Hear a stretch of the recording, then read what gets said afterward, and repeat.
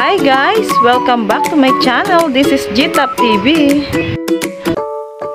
Ngayong Friday, May 27, 2022, gagawa tayo ngayon ng masarap na merienda at ito ang konji or goto.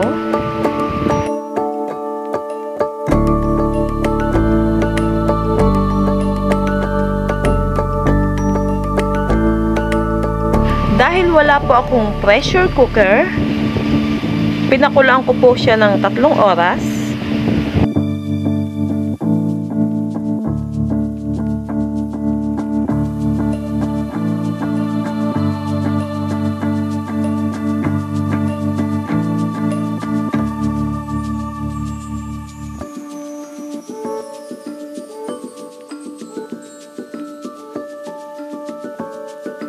After 3 hours, malambot na siya. So, pwede na natin siyang ilipat sa isang lalagyan or bowl.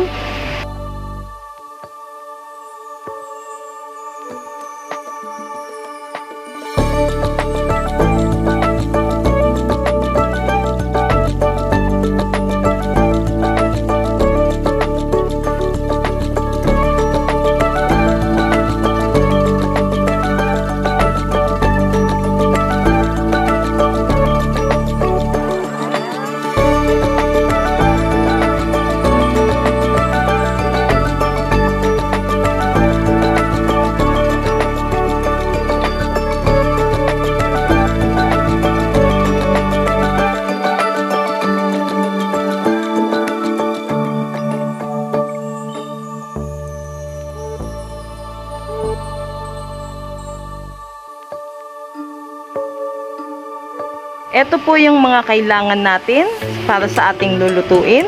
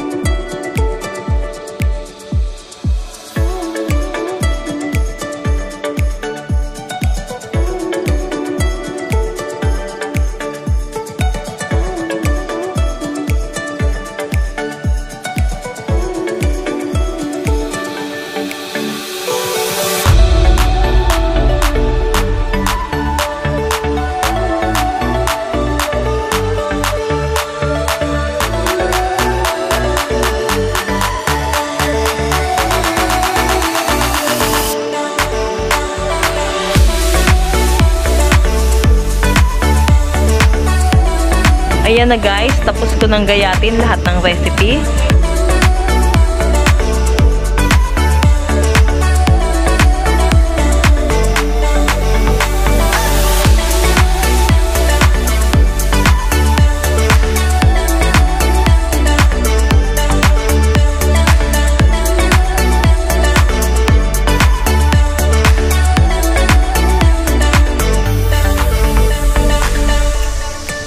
Maglagay na tayo ng oil sa pan. Isunod na po natin yung garlic and onion.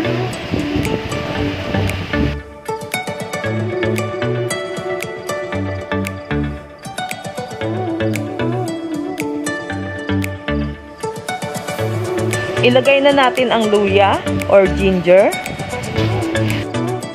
Ilagay na natin ang tuwalya or tripe.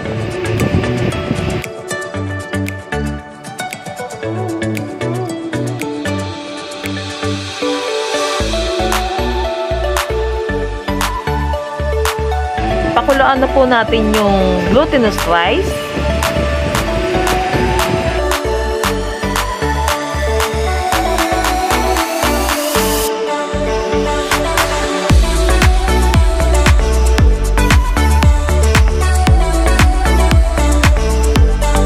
Haluin lang po natin para hindi masunog yung ilalim. Ilagay na natin yung pork cube, ground pepper,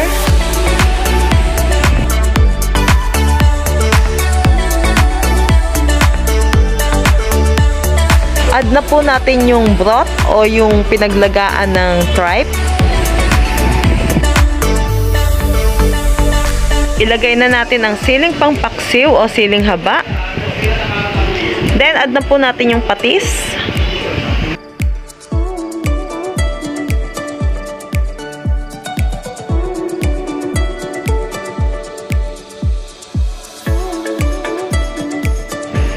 Ayan na guys, luto na yung ating congee or goto. Masarap po yan, lalo na ngayong tag-ulan.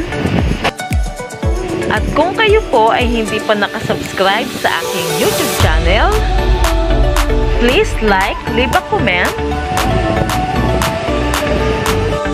and subscribe GTAP TV. And please don't forget to click notification bell para sa aking mga new videos.